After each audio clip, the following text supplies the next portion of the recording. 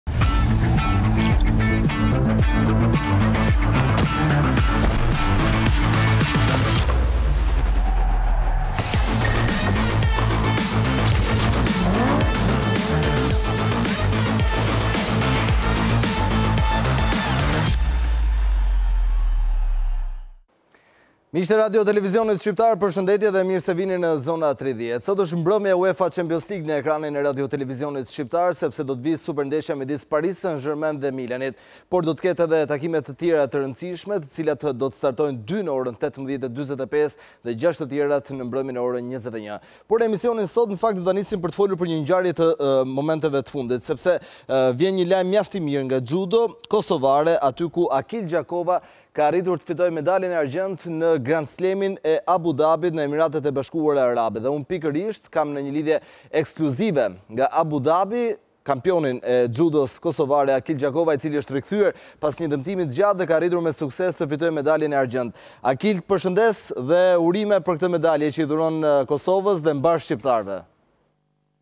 Përshëndetje, faleminderit shumë. Akil, na thuaj pak si ishte ajo finale me xhudistin nga Uzbekistani. Po tu marr parasysh që gara është e nivelit shumë të lartë, domethonë gjithë garuesit vijnë për, për një synim, një kualifikim për lojra olimpike, e, gjithë gara ka qenë shumë e vështirë, domethonë çdo meç ka qenë ë duhet me bo një sakrificë dhe një begi çdo luftë ka qenë mjaft e vështirë për, për finale kisha thonë që edhe pak edhe disa përmirësime të vogla besoj që herën tjetër do të jem i artë. Çfarë nuk shkoi në ndeshjen përballë uzbekut? Po, në kategorinë time në 73 kilogram, çdo xhudist domethonë 10 ose 20 të parët, secili secilin aty mundet me befasu ose me, me mund, po mendoj që gjithçka ka qenë n'rregull, ndoshta u konë dita e tina pak ma e mirë, një hudhje, një moment që e ka bo aj, me ato ka përfundu edhe lufta. Pas ati kalvari dëmtimesh të gjata, tashmë si ndihesh, ndihesh në formë? Garat e mrama, domethonë, i kom pas diku 5-6 gara, ku kom arrit mu bo i pesti, i shtati, disa herë kom arrit mu bo i shtati, po asnjëherë nuk e kom ndi veten si sot, edhe po mendoj që tash e tutje jom kthy kadale edhe pas një sakrifice shumë të madhe po mendoj edhe po shpërblehna, kështu që po vazhdoj me punu edhe shpresoj që medalet s'kanë me mungu. Ke arritur të grumbullosh shtatëqind pikë të vlefshme për Lojërat Olimpike Paris dy mijë e njëzet e katër. Si përkthehet kjo dhe sa larg jemi sigurimit të pjesëmarrjes në Olimpiadë? Po pjesëmarrja në Olimpiadë për momentin unë kam qenë brenda normës, ose diku dy ose tre garues mbas normës, po me këtë medale Po mendoj nëntëdhjetë për qind e siguroj kvalifikimin olimpik, edhe tash jam brenda normës olimpike, ndoshta edhe një garë ose dy plasmane të mira edhe po mendoj që ajo është vetëm punë e kryme. Cilat janë premisat për Paris dy mijë e njëzet e katër? E sheh të fortë konkurrencën? Si gjithmonë konkurrenca është shumë e fortë, po ne do shkojmë atje me synim me një synim të qartë edhe ajo synim është medalja, domethënë Olimpiadën e kaluar kam arrit m'u bo i shtati, domethënë kam zënë vendin e shtatë, kështu që Sigurisht që kësaj here synimi kryesor është medalja. Akil, ka dhe garuës të tjerë nga Kosova që po marrin pjesë në Abu Dhabi. Sot tek femrat nuk ka qenë një paraqitje e mirë, ndërsa nesër debuton për herë të parë një prej garuësve nga Kosova në mos gaboj. Cilat janë premisat? Ti je bashkë me ta, kuptohet. Po, po, nesër garon Shpat Zeka, Po mundohet domethënë me u fut në m'u kualifu, m'u kualifiku në normë olimpike, potencialin Shpati e ka shumë të madh, edhe pse është, nuk është ende i pjekur, po mendoj është në moshë pak ma të re, po shpresoj që ka me deputu mbarë edhe ka me shku gjithçka mbarë. Akil, unë të uroj edhe një herë suksese për këtë medalje të arritur që gëzon jo vetëm kosovarët, shtetin e Kosovës, por të gjithë shqiptarët anembanë botës ku ndodhen dhe pa diskutim të uroj më të mirat në të ardhmen dhe në Paris 2024 dhe faleminderit që ishe në studion e Zona 30 në këtë intervistë ekskluzive.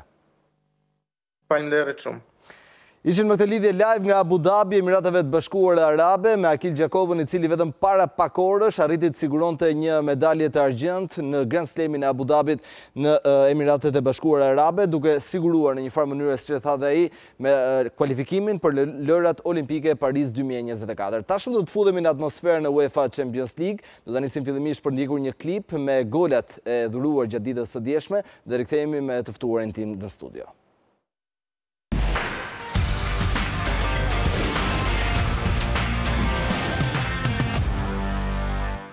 Do të diskutojmë uh, me të ftuarin tim në studio, kam uh, kënaqësinë të prezantoj gazetarin Denis Miga. Denis, përshëndetje. Përshëndetje, faleminderit për ftesën. Uh, Nga një batutë të shkurtër për ndeshjet e luajtura ditën e djeshme, pati surprizë, ndoshta mund ta konsiderojmë vetëm humbjen e Benfikës në shtëpi, që duke patur parasysh atë çka ka bërë vitin e kaluar, është ende me zero pikë. Besoj, ok, duke u nisur nga viti i kaluar është surprizë, po duke ditur gjendjen që ka Real Sociedad nuk ishte surprizë, Real Sociedad duhet të meritonte, kam përshtypjen edhe fitoren edhe ndaj Interit, por kam përshtypjen ai grup është tashmë i kompletuar, aty Real Sociedad dhe Inter kanë kaluar tashmë grupin, kështu që s'kemi Mbrëmja e djeshme ishte mbrëmja e, le të themi, e kalimeve të lehta. Ka mbetur vetëm Manchester United, dilema dhe Sevilla. Në qoftë se do t'i diskutojmë mes grupeve, pjesa tjetër është... Po, pjesa tjetër, Sevilla, çuditërisht ndryshe nga Kupa UEFA ose Europa League, quhet tani, në Champions League nuk e di pse nuk nuk nuk ecën, nuk përparon dot. Ndoshta duan të zbresin në habitatin e tyre, të shkojnë në Europa League. Aty po, me siguri do shkojnë prapë në vend të tretë dhe aty do ta marrin prapë Europa League. Kështu që ajo ndryshe mund të quhet dhe Sevilla Cup është quajtur madje vite më parë. Fiton fiton Reali, fiton Napoli, fiton Arsenali. Po, këtu tek Reali dhe dhe Napoli është e mbyllur, të dy këto dy ekipe do kalojnë grupin. Arsenali gjithashtu është në gjendje të mirë dhe më pas, siç thashë, është mes Lens dhe Sevilles do të diskutohet vendi i dytë. Surprizë skuadra e Lensit, ë? Padyshim, francezët në fakt kanë vite që nxjerrin talente, madje edhe Milani, megjithëse do të diskutojmë, ka hedhur sytë nga kampionati francez, kam besoj unë, mendimi im personal, që kombëtarja franceze është më e mira se dëgjova një një një nga këto parashikimet britanike sërish që Britania e Madhe ishte favorite për të fituar Europa 2024, po unë mendoj që Franca është ekipi më i mirë që kombëtarja më e mirë, kështu që talentet e shumta besoj në këtë në këtë kuadër e kanë rritur edhe cilësinë e kampionatit francez. Mirë, le të futemi pak në atmosferën e ndeshjeve të sotme, siç thashë vetëm pas pak do të luhen dy takime Barcelona Shakhtar Donetsk dhe Feyenoord Lazio, ndërsa në mbrëmje do të kulmojë gjithçka me sfidën midis Paris Saint-Germain dhe Milan që do të vijë ekskluzivisht në ekranin e Radio Televizionit Shqiptar. Ndjekim një insert dhe rikthehemi në studio.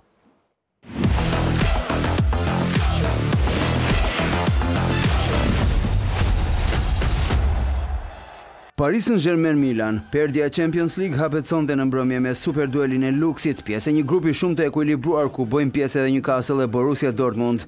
Fate që kryqëzohen, Donnarumma, ishi i ndeshjes, e Mbappe, një tifoz special në kampin kundërshtar. Sonte në rtsh një, falas për të gjithë shqiptarët vjen dueli që nuk jep shumë pika referimi, edhe pse përballë vendosen dy klube me histori e financa aspak të ngjashme. Pioli kundër Luis Enrikes, kuqezinjtë në shtëpinë e parizienëve shkelin me një handikap të madh, Faktin që këtë sezon të Champions League nuk kanë shënuar ende asnjë gol, edhe pse kanë zhvilluar dy ndeshje pozitive në Milano me Newcastle dhe në Gjermani kundër Borussia së Dortmundit.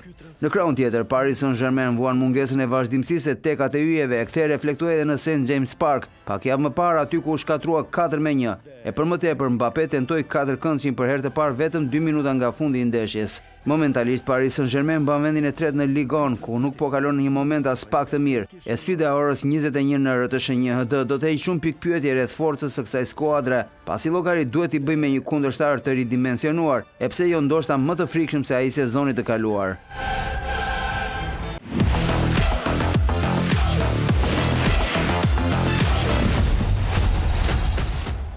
Denis ti je një milanist, por sot le ta heqim këtë petkun e tifozit dhe të flasim pa doreza. Sa i fortë është Paris Saint-Germaini aktualisht përballë këtij Milani? Kam përshtypjen është për mendimin tim është një do të jetë një ndeshje tërësisht e barabartë. Nuk mund të cilësoj as Paris Saint-Germaini, ndoshta vjet për mendimin tim për shkak edhe të pranisë së Messit dhe sidomos Neymar, Neymar për mua ka qenë një nga lojtarët shumë efikas te Manchester te Paris Saint-Germain në ditët kur ai ishte në formë dhe shumë përcaktues.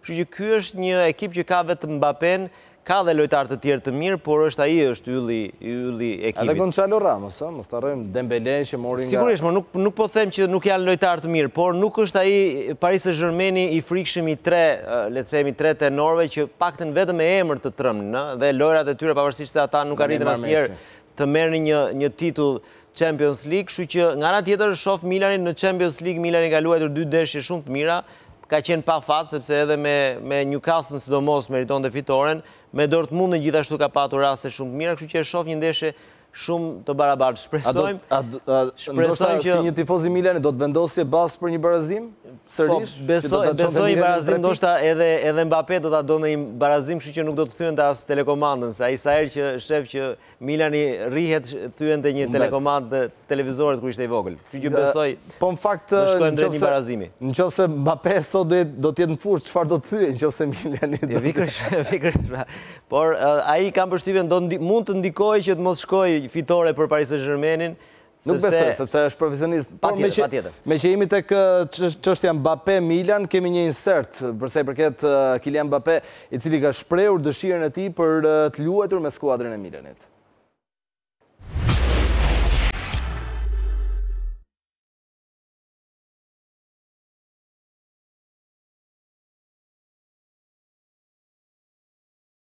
Paris Saint-Germain është shtëpia e tij, por një pjesë të zemrës e ka patur përherë në Milano.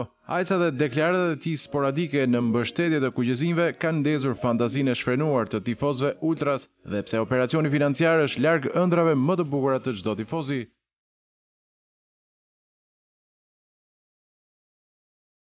Nëse do të ishte në dorën e Kylian Mbappe, sigurisht që alternativën Milan do ta kishte konsideruar pasi të luash për skuadrën e zemrës është gjithmonë një kënaqësi e veçantë.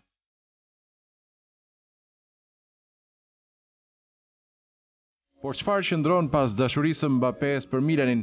Ndoshta familja Ricciardi, ku sulmuesi kalonte pasditet e fëmijërisë së tij. Tifozë të thekur të Milanit, ata i kanë kërkuar që nëse një ditë do të bëhej lojtar i madh, Duhej të vishte me çdo kusht fanellën kuqezi, ndërsa në Serie A nuk duhej të konsideronte asnjë skuadër tjetër. Mamaja e tij, Faiza, kujton se në kafenenë e tyre në afërsi të shtëpisë, Kylian ndalej përherë dhe dalngadalë familja italiane arriti t'i injektonte gjakun kuqezi, që dhe sot rrjedh në venat e sulmuesit francez, një nga më të lakmuarit në qarkullim. Tani ka ardhur momenti, por për fatin e keq të Mbappes, si kundërshtar, dhe pse ndoshta një ditë, rrugët mund të kryqëzohen.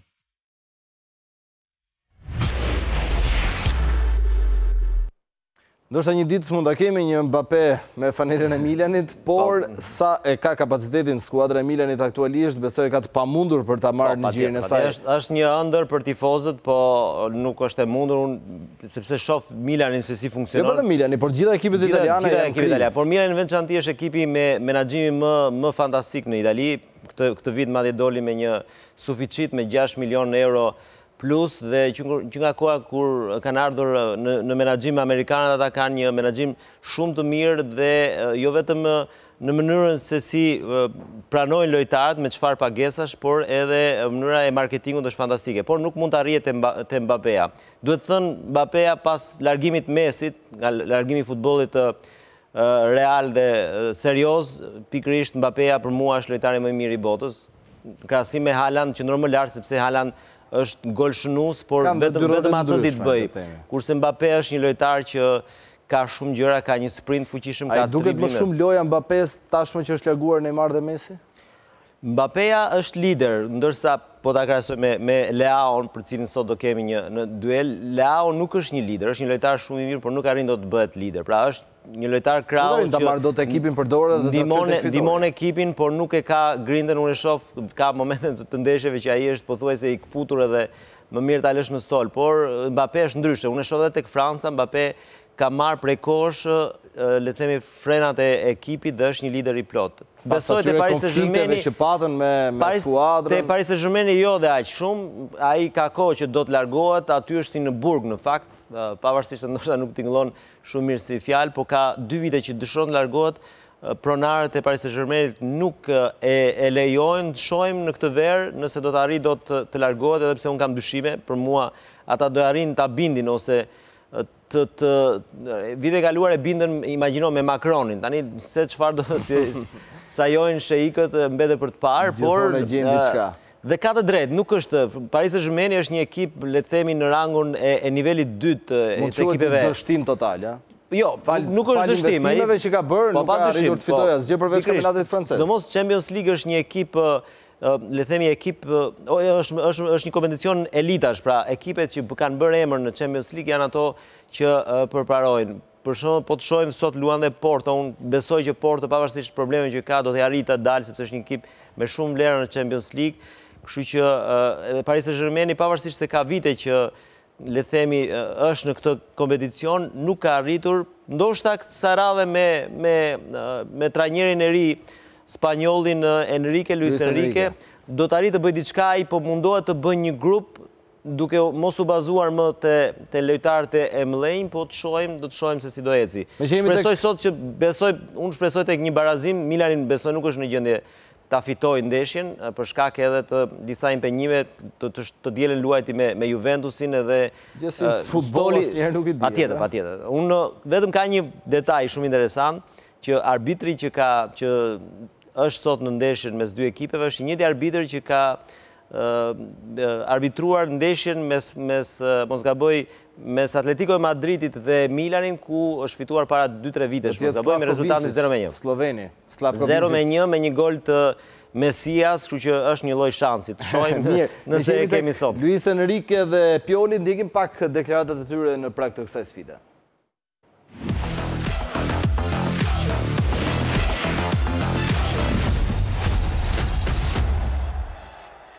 Denis, si e sheh këtë përballje mes dy trajnerëve Enrique dhe Pioli, dy filozofi krejtësisht të ndryshme? Pa dyshim që futbollin më të bukur e bën Luis Enrique sepse ka patur shansin edhe të luajë te Barcelona, e ka arritur ta marrë Champions League-n, por ka patur Messin dhe mos gaboj dhe Neymar edhe edhe Suarez në kohën. Pioli nuk e ka këtë përvojë, sot në fakt edhe një tjetër statistikë, ai bën dyqind ndeshje me me Milanin, është edhe ky një moment për t'u shënuar se Zakonisht në Itali trajnerët nuk nuk rezistojnë më shumë se një apo dy sezone, po duket se rezultatet e Piolit tek Milani, që do të thënë nuk nuk është ekipi që tifozët e Milanit do të dëshironin, është një ekip grupi, një ekip shpirti, por nuk është një ekip talentesh, kështu që besoj sot ajo çfarë do të bëjë diferencën, unë e them edhe një herë me pak cinizëm, do jetë mungesa e dëshirës apo e vullnetit të Mbappes për ta fituar me çdo kusht ndeshjen. Mbetesh aty. Kështu që do kemi një barazim në paqe. beson që do jetë barazim. Një barazim, një barazim. Ndërkohë ka ka dhe ndeshje të tjera, të cilat janë mjaft interesante, mund të përmendim sfidat që kanë nisur në këto momente, Feyenoord Lazio, një ndër më të spikaturat ku luhet minuta e pestë, zero me zero, Barcelona Shakhtar Donetsk, Antwerpen Porto, Celtic Atletico Madrid, Newcastle Borussia Dortmund, Leipzig Crvena Zvezda dhe Young Boys Manchester City. Ajo që bie në sy në fakt është dhe përballja tjetër e grupit të Milanit, po, Newcastle Dortmund. Po, ajo atë do thoja është një ndeshje komplet surprizë në sensin se askush nuk mund parashikojë se çfarë do ndodhë, pavarësisht se Newcastle duket sikur ka një marsh më tepër për shkak të fitores 4 me 1 me me pikërisht Paris Saint Germainin, po besoj Dortmundi do të luaj, është një ekip gjerman që luan deri minutën e fundit, kështu që është një ndeshje shumë e hapur. Të dyja për mua janë ndeshje të hapura. Ajo që thotë Enrique është e vërtetë, të katërta ekipet kanë shanse për t'u kualifikuar. Janë në garë për t'u kualifikuar. Ndërkohë Lazio si e sheh përballjen në Holandë, është rikthyer në vendin e krimit. Lazio është ekipi që është shumë shumë efikas me ekipe të nivelit si Feyenoordi. Besoj do të fitojë sot. Jo sepse ka ndonjë ekip shumë të mirë Lazio, po nuk e di, ka disa, për shembull me ekipe si Sassuolo për shembull, apo me ekipe të, të shtresës së mesme në Itali, nuk e di, fiton shumë kollaj, kështu që besoj edhe me Feyenoordin do të fitojë sot. Mirë Denis, unë të falenderoj që ishe në studio. Faleminderit juve. Dhe suksese për emisionin. Miq, do të ndjekim një rubrikë tonën, e cila do të jetë çdo të mërkurë, histori Champions-i dhe rikthehemi në studio.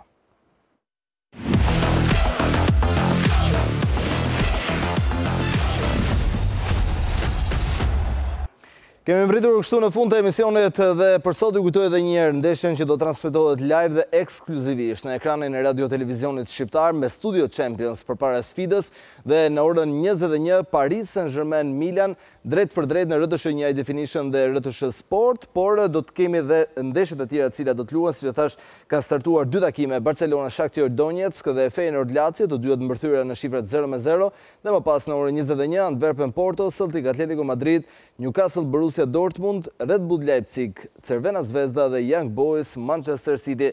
Gjithsesi, Të gjithë do të fokusohen tek supersfida e mbrëmjes, ajo mes Paris Saint-Germainit dhe Milanit, që do të transmetohet në rtsh një High Definition. Unë do t'ju lë në shoqërinë e një përmbledhje me fotot më të bukura nga UEFA Champions League, për t'ju lënë sërish takim ditën e nesërme në ekranin e rtsh një High Definition. Mirutakofshim!